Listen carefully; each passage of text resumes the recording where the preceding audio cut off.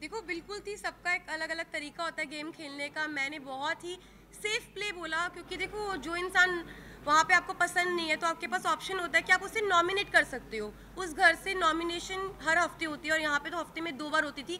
तो मेरे को नॉमिनेशन से मैं बचती थी, क्योंकि लोग मुझे नॉमिनेट इसलिए नहीं करते थे, क्या पता मैंने उनके दिल में जगह बनाई हो, और घर में मैं अच्छा कर रही हूँ, तभी लोग मुझे नॉमिनेट नहीं करते थे। और नॉमिनेट नहीं हुई तो इसलिए मैं आउट नहीं हुई, इसलिए मैं टॉप फाइव में पहुँची।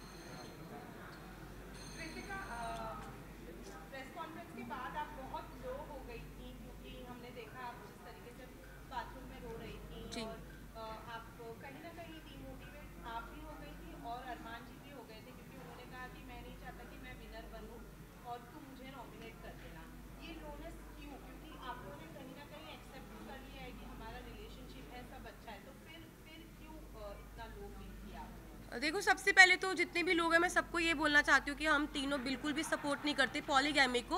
और शादी हो गई है, इसको सात साल हो गए जब हम लोगों ने शादी की थी, हम लोग सोशल मीडिया पे नहीं थे, चीज़ें हो गई।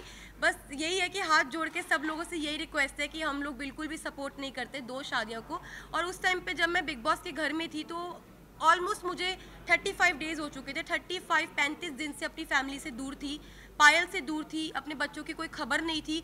तो अचानक से इतने सारे लोगों ने जो क्वेश्चन पुट करे हाँ मैं मानती हूँ कि जो चीज़ें हुई, वो एक एक्सपेक्ट मतलब कि बोलते कि वो एक्सपेक्टेड नहीं था जो चीज़ें हुई और बहुत ही अलग चीज़ है। तो पर जो लोगों के क्वेश्चन थे ना, वो कहीं ना कहीं ना मुझे हर्ट कर रहे थे और मुझे इस चीज़ सुनने में आई थी कि पायल के बारे में जो लोग बोल रहे थे तो वो चीज़ों के बारे में मुझे ना टेंशन से हो रही थी। मतलब कुछ चीज़ें मुझे खाई जा रही थी और हम बिग बॉस के घर में थे, मेरे पास फ़ोन नहीं था कि मैं अपनी फैमिली को पूछ सकूँ, क्या वो ठीक है, क्या मेरे बच्चे ठीक है। तो बस एक होता है ना कि आप पैंतीस दिन से भरे हुए थे और वो उस दिन जो बातें हुई, उस बातों से मुझे तोड़ दिया और मैं इमोशनली ब्रेक डाउन हो गई थी। पर फिर जब मैं रोई और मैंने अपनी जो दिल की बात थी, अरमान जी से शेयर करी, फिर मैं थोड़ी सी, मेरा जो दिल है वो हल्का हुआ।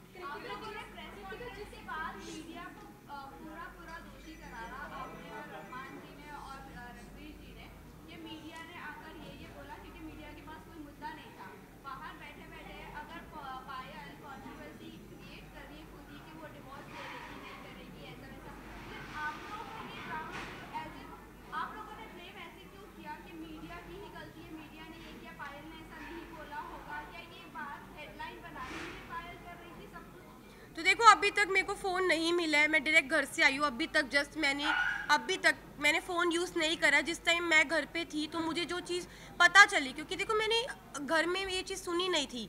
ना मैंने देखी, ना अपनी आँखों से देखी, ना अपने अपने कानों से सुनी कि पायल क्या बोल रही है। तो मेरे को एक, कहीं ना कहीं अरमान जी को रणबीर जी, सबको ये लग रहा था कि हो सकता है कि कोई कोई मेरे को फॉल्स स्टेटमेंट दी हो या कोई बात को घुमाया गया हो, क्योंकि जब तक इंसान अपनी आँखों से नहीं देखता, अपने कानों से नहीं सुनता, वो विश्वास नहीं कर सकता।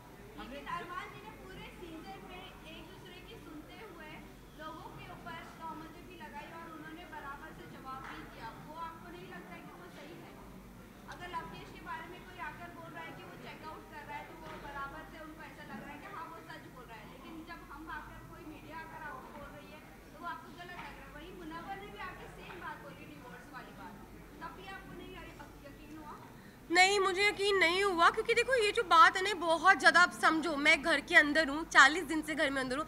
अचानक से कोई ये बात बोलता है, पायल डाइवोर्स वाली बात जो बोल रही है, ये कितनी शॉकिंग बात थी कि इसकी वजह से मैं पूरे दो दिन इतना ब्रेक डाउन रही हूँ, इतने इमोशनली मतलब हर चीज़ से मैं जूझ रही थी उस घर के अंदर। तो मुझे कहीं ना कहीं लग रहा था कि मैं अपने दिल को ये चीज़ समझा रही थी कि क्या पता ये बात सच हो, क्या पता ना हो, क्योंकि मेरे को यही था, मैं बाहर जाऊँ और मैं बायल से डायरेक्ट बात करूँ। जब मैं घर से बाहर निकली टॉप फाइव में जब मैं इस रेस से बाहर निकली मैं बाहर निकलते ही स्टेज पे पायल थी और मैंने उससे पूछा तू ठीक है ना? उसने बोला हाँ मैं ठीक हूँ। बाकी बात बात की अभी तक मैंने फ़ोन अपने नहीं देखे कुछ नहीं देखा। Please one by one please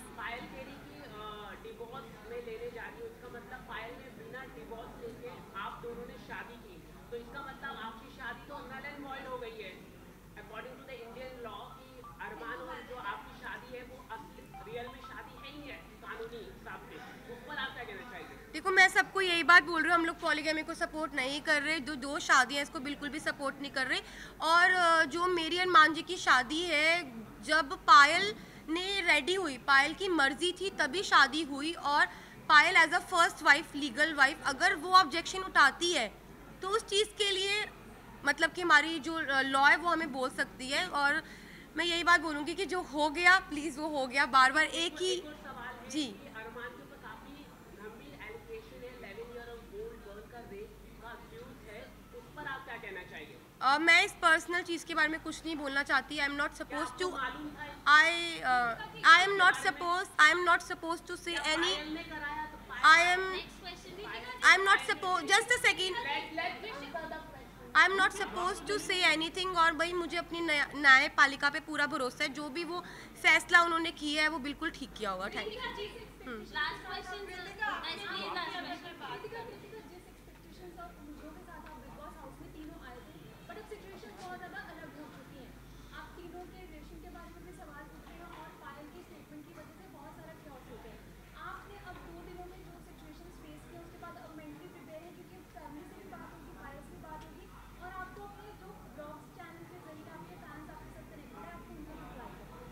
जो मैं बिल्कुल प्रिपेयर हूँ हर चीज़ के लिए। हम तीनों ने अ, जो हमारा रिश्ता है वो आप लोगों को सभी को पता है और मुझे पता है कि वो इतनी ईजिली नहीं टूटेगा।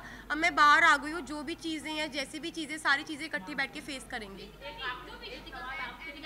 Thank you thank you thank you